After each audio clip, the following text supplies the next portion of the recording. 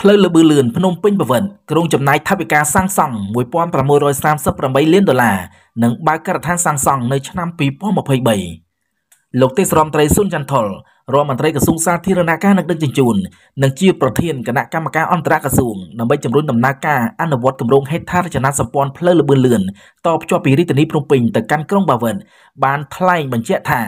ផ្លូវលបឿនលឿនខ្សែទី2ភ្នំពេញបាវិននឹងបើកការដ្ឋានសាងសង់នៅក្នុងឆ្នាំ2023ខាងមុខនេះជាមួយនឹងការប្រើប្រាស់ថវិកាសាងសង់ចំនួន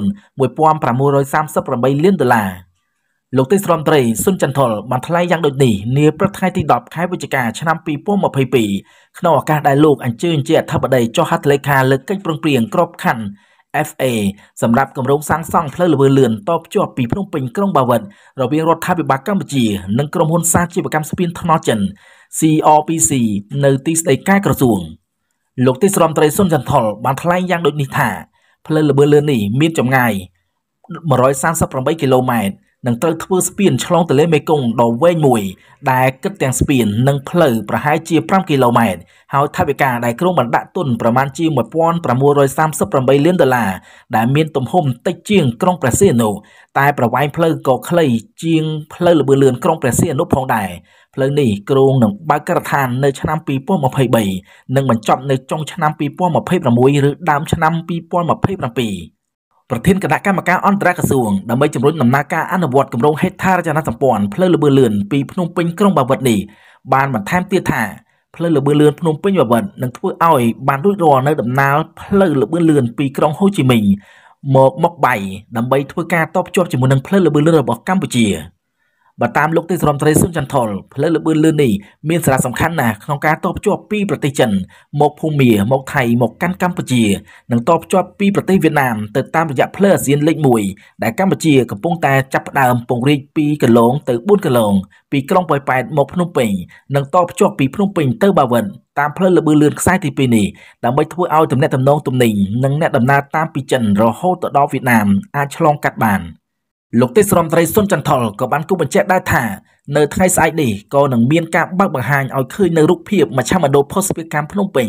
ដែលជាគម្រោងសហប្រតិបត្តិការរវាងរដ្ឋាភិបាលកម្ពុជា និងក្រុមហ៊ុន YCA របស់សង្ហបុរីនិងដៃគូផ្នែកឯកជននៅកម្ពុជា។ក្រុមហ៊ុន Worldprint ដើម្បីបង្ហាញឲ្យឃើញពីគម្រោងសាងសង់មជ្ឈមណ្ឌលភស្តុភារកម្មដ៏ធំមួយ និងដំបូងគេនៅកម្ពុជា ដើម្បីជួយធ្វើយ៉ាងណា ឲ្យតម្លៃ logistics នៅកម្ពុជាអាចកាត់បន្ថយនិងអាចប្រកួតប្រជែងជាមួយគេបានដើម្បីឲ្យកម្ពុជាមានឱកាសទាក់ទាញអ្នកវិនិយោគមកបណ្ដាក់ទុននៅកម្ពុជាបន្ថែមទៀតផងដែរ។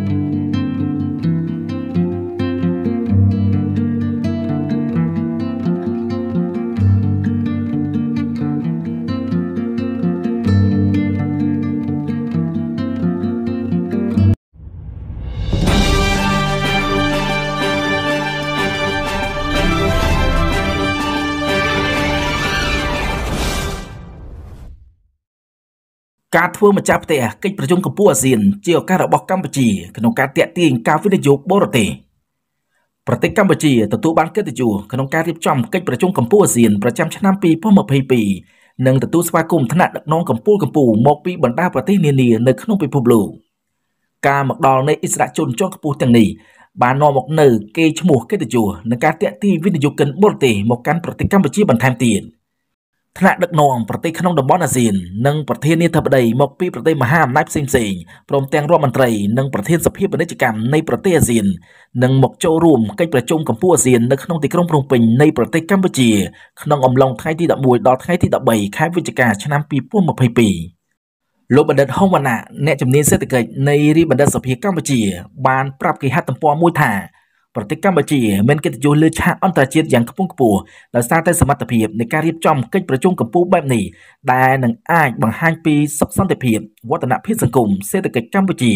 និងអាចជំរុញកិច្ចសហប្រតិបត្តិការក្នុងក្របខ័ណ្ឌទ្វេភាគី និងពហុភាគីជាមួយនឹងបណ្ដាប្រទេសជាដៃគូលោកបណ្ឌិតបានបន្តទៀតថាក្នុងឱកាសនេះកម្ពុជាមានឱកាសក្នុងការបង្ហាញពីសក្តានុពលរបស់ខ្លួនទៅកាន់ប្រទេសដែលពាក់ព័ន្ធរួមមានថ្នាក់ដឹកនាំអាស៊ាន G20 G7 ជាដើម។ លោកបានបន្តទៀតថាក្នុងទស្សនវិជ្ជាសេដ្ឋកិច្ចប្រទេសកម្ពុជាទទួលបាននូវអត្ថប្រយោជន៍សេដ្ឋកិច្ចនិងការទូតដោយប្រយោជន៍តាមរយៈកិច្ចការពាណិជ្ជកម្មទ្វេភាគីនិងពហុភាគីជាមួយនឹងប្រទេសដៃគូរួមមានសហរដ្ឋអាមេរិកចិនជប៉ុនកូរ៉េខាងត្បូងឡាដែលអាចឲ្យកម្ពុជាធ្វើពិពិធកម្មផលិតផលឲ្យកាន់តែល្អប្រសើរដើម្បីជំរុញការនាំចេញទៅកាន់ប្រទេសទាំងនោះបន្ថែមទៀត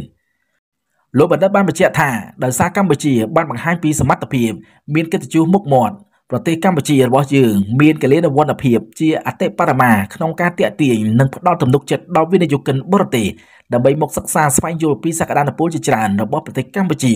ស្របពេលដែលកម្ពុជាបានរៀបចំគ្រួចជាស្រេចលើការរៀបចំប្រព័ន្ធហេដ្ឋារចនាសម្ព័ន្ធនានាទូទាំងប្រទេសជាពិសេសមានការរៀបចំនៅតំបន់សេដ្ឋកិច្ចពិសេសជាច្រើនសម្រាប់អ្នកវិនិយោគ លើពីនេះទៅទៀតច្បាប់វិនិយោគថ្មីដែលត្រូវបានរៀបចំការដោះស្រាយវិវាទនិងការសម្រុះសម្រួលពាណិជ្ជកម្មសម្រាប់ជនបរទេសក៏ជាសក្តានុពលដែលអនុញ្ញាតឲ្យកម្ពុជាអាចបង្ហាញបានក្នុងអំឡុងពេលនេះបានផងដែរលោកបណ្ឌិតបានបន្ថែមទៀតថាតាមរយៈការតាក់ទាញវិនិយោគិននេះហើយដែលនឹងនាំមកនៅអត្ថប្រយោជន៍ដល់វិស័យនិងទីផ្សារផ្សេងផ្សេងទៀតជាអាចទីផ្សារអចលនទ្រព្យទេសចរឡាដែលអាចផ្ដល់ការងារដល់ប្រជាជនក្នុងស្រុកនិងជំរុញសេដ្ឋកិច្ចកម្ពុជាបានច្រើន ពេលដែលយើងធ្វើជាម្ចាស់ផ្ទះយើងមានឱកាសបង្ហាញនិងនាំគេមកឲ្យសិក្សាបរិយាកាសនិងវិនិយោគនៅកម្ពុជា ចំណុចនេះហើយដែលជាអត្ថប្រយោជន៍ដោយប្រយោជន៍ដែលអាចជំរុញឲ្យវិស័យដទៃដទៃទៀតដូចជាវិស័យអចលនទ្រព្យអាចកម្រើកបានលោកបន្តថាការណាវិនិយោគមកប្រជាពលរដ្ឋក៏មានការងារធ្វើទេសចរមកច្រើនក៏បានជំរុញឲ្យវិស័យពាក់ព័ន្ធមានកំណើនមានការងារធ្វើរដ្ឋក៏ទទួលបានចំណូលពីការបង់ពន្ធនាំចូលនិងពន្ធប្រាក់ចំណូលឡា ដែលជំរុញឲ្យសកម្មភាពសេដ្ឋកិច្ចមានភាពរីកចម្រើនលូតលាស់ជាមួយគ្នានេះដែរអនុប្រធានសភាពាណិជ្ជកម្មលោកអុកញ៉ាលឹមហេងបានមានប្រសាសន៍កាលពីថ្ងៃទី8ខែវិច្ឆិកាកន្លងទៅថាការរៀបចំកិច្ចប្រជុំកម្ពុជាអាស៊ានរបស់កម្ពុជា ជាការបើកចំហទីផ្សារក្រោយពីកម្ពុជាចូលជាសមាគមសេដ្ឋកិច្ចអាស៊ានភ្ជាប់តំបន់សេដ្ឋកិច្ចអាស៊ានតែមួយដែលជាចំណុចដ៏សំខាន់ជាពិសេសនៅក្រៅបរិបទនៃជំងឺ Covid-19 លោកបានបន្តថាក្រុមហ៊ុនធំធំនឹងធ្វើបទបង្ហាញអំពីសក្តានុពលនិងបទពិសោធន៍គ្នាទៅវិញទៅមកដែលធ្វើឲ្យតំបន់អាស៊ានកាន់តែរស់រវើកនិងមានទំនាក់ទំនងគ្នាកាន់តែល្អប្រសើរជាពិសេសលើការវិនិយោគគ្រប់វិស័យលោកអុកញ៉ាលឹមហេងបានលើកឡើងថា ប្រទេសកម្ពុជាក្នុងនាមជាប្រធានអាស៊ាននៃកិច្ចប្រជុំសំខាន់នេះមានឱកាសច្រើនក្នុងការបង្ហាញអំពីសមិទ្ធផលផ្សេងៗដែលកម្ពុជាសម្រេចបានដូចជាការគ្រប់គ្រងការឆ្លងរាលដាលជំងឺ Covid ការបើកប្រទេសឡើងវិញការបង្កើតឲ្យមានច្បាប់វិនិយោគថ្មីការកែតម្រង់សេដ្ឋកិច្ចផ្ទៃក្នុងនិងការបើកដំណើរការសេដ្ឋកិច្ចឡើងវិញជាដើម លើពីនេះទៅទៀតប្រទេសកម្ពុជាមានឱកាសបង្ហាញសក្តានុពលលើវិស័យកសិកម្មដើម្បីទាក់ទាញវិនិយោគក្នុងការកែច្នៃនាំចេញតាមរយៈកិច្ចព្រមព្រៀងពាណិជ្ជកម្មសេរីនានា thank you